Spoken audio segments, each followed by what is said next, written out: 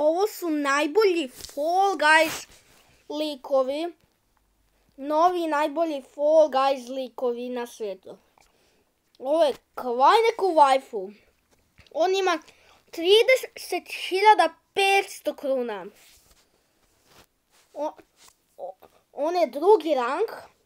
A sljedeći najbolji igrač je prvi rang je Filipino Assassin. On, on ima 32.000 kruna. On je snimao jedan video da ima 32.000 kruna. Kvajneku Waifu i Filipino Assassin su novi najbolji Fall Guys likovi. I vidimo se. Ćao!